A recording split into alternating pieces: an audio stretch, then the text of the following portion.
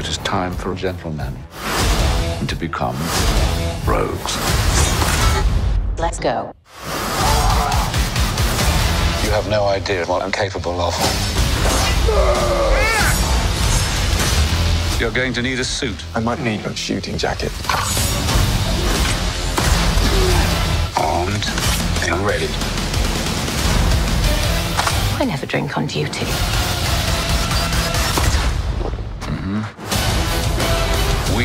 First spy organization. Kingsman, is it? And lady. Only in theaters, December 22nd. I'm offering you the opportunity to become a Kingsman agent. Like a spy of sorts. Since 1849, Kingsman tailors have clothed the world's most powerful individuals.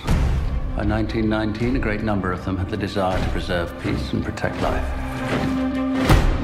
Our founders realized that they could channel wealth and influence for the greater good. And so began an independent intelligence agency operating at the highest level of discretion. The Kingsman Agency. Welcome to the club. Very clever. This movie really is an origin story. This is the foundation of the Kingsman franchise. Manners? Maker. Man. Spectacular, eh?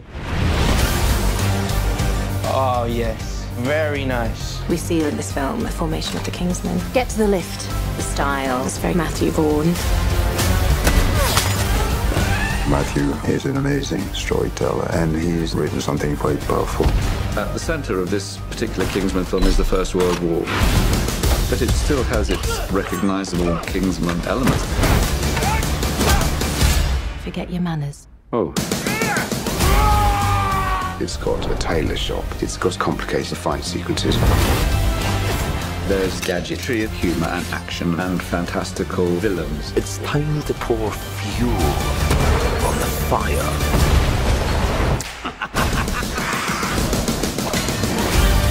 Armed and ready. We shall see. Welcome. Why is it that boys are always so messy?